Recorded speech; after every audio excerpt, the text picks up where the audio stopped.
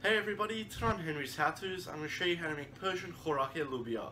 Basically, this is a kidney bean appetizer. Let's get straight into it. Okay guys, so for this recipe, I'm going to use one big red onion. And basically, what we need to do with our onion is just very thinly slice it. So just into a pan on a medium heat, we'll add about 3 tablespoons of oil. And we'll add our onions straight in. And we just want to fry our onions very slowly.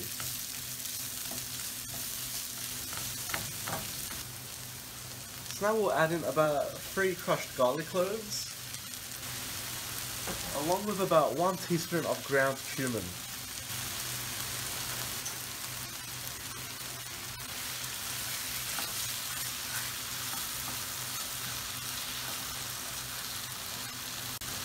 Now just add in a pinch of salt with about a quarter teaspoon of black pepper. Now we'll add in about 2 tablespoons of tomato paste.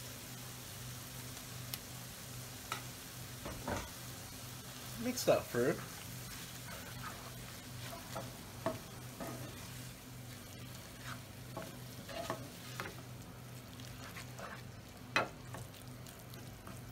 And we just want to cook that with the tomato paste for about 5 minutes. Now just add in the juice of about one lime, about half a handful of chopped parsley, one cup of water,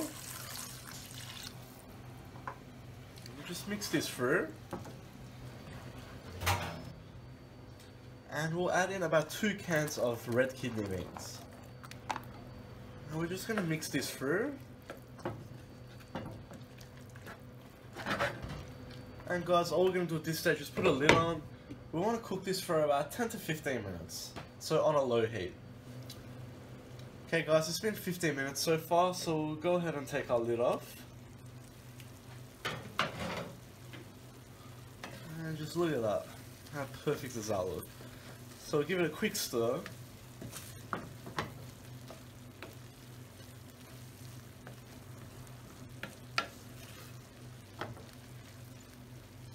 And we'll just turn our heat off and let it rest for about a few minutes. Okay, and there we have it ready to be served. Now this can be served hot or cold, so it's up to you. You can let it cool down and serve it more like a salad rather than an appetizer. But simple as that.